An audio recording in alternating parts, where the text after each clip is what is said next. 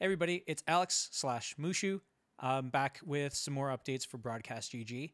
So, as we now move on to this next stage to where we're actually working on the tool, by we, I mean me and whoever wants to help, maybe that's you. That's what this is for. I wanted to make a video that shows at a high level how the workflow works because we have the tool, we have the file structure, we have the installer, and some decisions that need to be made to move into new games. And you will see why. So, at a high level, first, how this works is okay. We'll just get into it.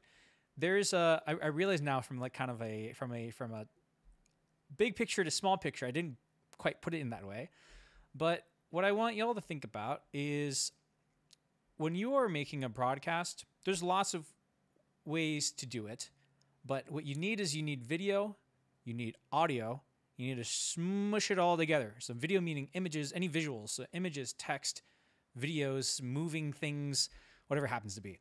So, the way to do it is a very popular way is to use OBS Studio or Open Broadcast Studio. Is OBS Studio? Anyways, OBS and Studio. Okay, anyways, uh, the way it works is almost like it's live Photoshop. So you have these different layers, right? Where you have, uh, you can combine visual layers and then you smush together all the audio. And that's how you make a stream. That's how you make a broadcast, whether you're doing esports or not. You're smushing together all the moving stuff and all the audio. So, specifically with this tool, the important thing to know is that there is a layer that is the captured video from the gameplay, and then there is an overlay that has the information you want to add on to, onto it. So, uh, capturing the gameplay, that's something you can do whether you're just streaming to Discord or whatever it happens to be. But then the overlay is where the complication comes into play. Is how do you control all that information that makes all these different scenes, right? So you can have something like a map scene. You need to have all this information. How do you put in all the numbers? How do you put in all the text? This is what the tool helps us do. But I want to make sure that we are all on the same page and that people, even if you're completely new to all of this stuff, um, is that you can see how there's a.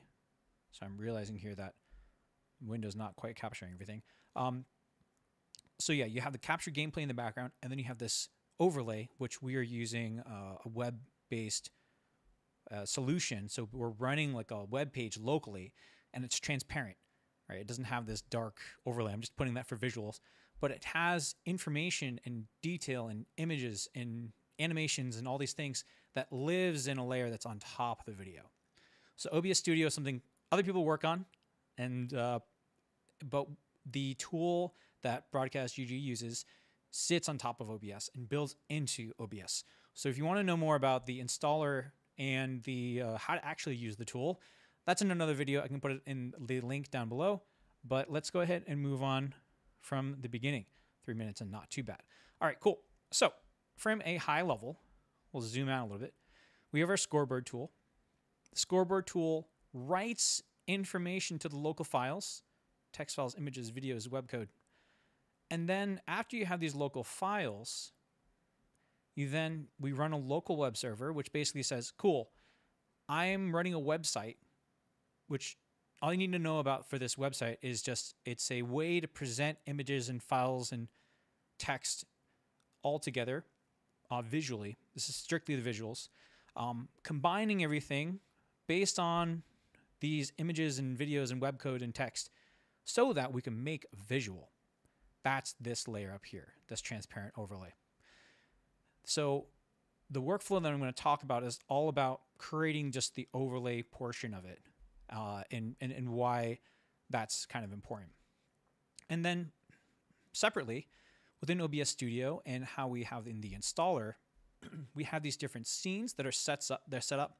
Again, picture all of these is just layers, just live Photoshop happening, um, where there's, say, for example, this overlay with all this information. Everything you see in the center here is that overlay. The background is actually separate. That's a video that's in OBS that we provide, and then these the the web the overlay itself just combines all of those visuals into this one layer. And then we're taking that overlay layer and smashing it on top of a video in the background. So this is this particular scene is just like when you're in game. You have the background, then you have some overlay over the over the front of it. Um, same thing here. We have this overlay, which shows the different heroes and whatnot, and the names. Cool. So uh, yeah, and, here here's what OBS actually looks like if you haven't used it before. Uh, so you have these different sources here. These these are the layers I'm talking about right here. So you have collections of different scenes, which are just different like collections of layers. And within one scene, so for example, map pool here, we have the uh, transition HTML, which is like the animation that happens when we change to the scene. We have the HTML map screen, which is the overlay itself that we're seeing. Waves is actually the background video, and local music is just something we have locally. We'll, we won't get too much into that, but these are the layers I'm talking about. Um, we're primarily talking about the visuals today. So, from a high level, again, we have a local tool that controls the local files. So, this tool runs in your Windows machine. Once you control those files and change these files, the web server says, oh, we're waving here. The web server says, oh, cool, I'm looking at everything that you're changing. And now I'm going to put those changes into this layer here. And that OBS then says, okay, cool. Now I can see the web page you're running and all the information there. I'll put it into my broadcast, uh, my comp- compilation, and then you have these multiple scenes. Um, these, these, wait, hold on. This is, this is not a map set scenes. This is, this is the uh, uh, team screen. And then this is the in-game scene. In-game. So that is pretty much it. We can go into more detail though, uh, because as we're thinking about expanding to other games, the one some of the challenges are, uh, and for for people that are going to start hopping and working on this, is to understand like uh, we need to understand like how it's all laid out, right? So this this is the flow that we just went through, but in terms of editing the scoreboard tool itself, um, changing how we include files for other games, this is where um, diving into more detail will be helpful. So I want to move into Valorant next. The one thing that's interesting is built into the scoreboard tool now, we actually have default.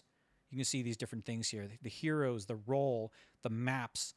Changing all of those things, we have that embedded into the tool right now for Overwatch. And that's where, if to maintain is actually a little bit difficult to do. Like you have to go into the app. Uh, uh, yeah, you have to edit the C sharp application, and you have to add in these assets. It doesn't take too long, but it's a little annoying to to change out. For example, uh, if you have a new update, do we then have to reinstall all the files over again, and then you lose all this information? That's part of the the, the reason why I'm thinking about we should probably move away from having these things be default. and what I'm talking about is uh, in the tool itself, we got some more nitty gritty details here. Uh, so in the broadcast folder, which when you install, when you use our installer, we are doing a couple things. We are setting up a file structure. So we're dropping in this broadcast folder somewhere on your computer. And in that broadcast folder sits a bunch of things. You have a scoreboard folder, you have the HTML folder, you have the Nginx controller uh, uh, folder, controller. Man, it's been a long day, and video folder, amongst some other things. But uh, I think just for the purposes of this video and what I need to educate people on, these are the main things to to know about. Uh, within the scoreboard folder is the actual scoreboard tool itself. So the important thing here to know is that when we have the drop down menu on the tool for example, up here, where is it? All of these drop downs, being able to actually control these things. So it says like Reaper, Doomfist, Sigma, DPS, tank, support, and even the maps. To control that, the tool looks into a folder locally. So that's this one here. So this is really the big key area of focus. As you can see here, for example, this is the hero folder uh, we have the Ana.hero and then the, or Ana.hero and Ana, which is, this is the image right here. And then this is like a dot .hero folder. So when the tool looks in the folder, it needs to see two things. It needs to see the, the image and then the associated dot .hero folder uh, file rather. So with those two together, now it's able to say, oh, cool. Now you can select it from the dropdown. So when we're creating something for Valorant, the main thing, the only thing we need to really change here is the contents of this folder. So as long as this is, these both are present, then we're good to go. You can actually drag and drop this into any tool. Like, uh, say for example, we provided the a folder with a new hero, a new agent in Valorant. You just drop it into this folder. It's a little more manual from a from like a user perspective, but pretty much everyone who's using this tool is technical, right? We know computers. So that's what I think is the best way because otherwise, every time this new agent, like for example, in Valorant, they just dropped a new agent. I don't have to remake a new scoreboard exe with the default in there and then send it out to everybody. I can just say, hey, here's the update. Drop this.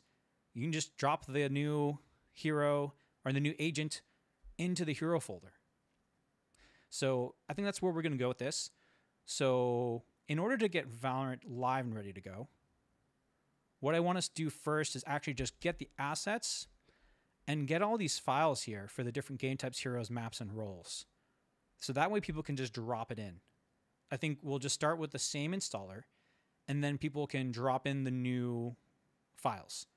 Um, that's something where, yeah, that that's that's what I'm, I'm, still thinking through some of those things. But in any case, I'm gonna make this Figma um, link accessible to everybody, so you can scroll through and check it out. I have a lot of details here. Like I separate out in the scoreboard. There's different kinds of folders and and things not super important for me to go through right now because the next step is how do we uh, make the easiest Valorant version quickly.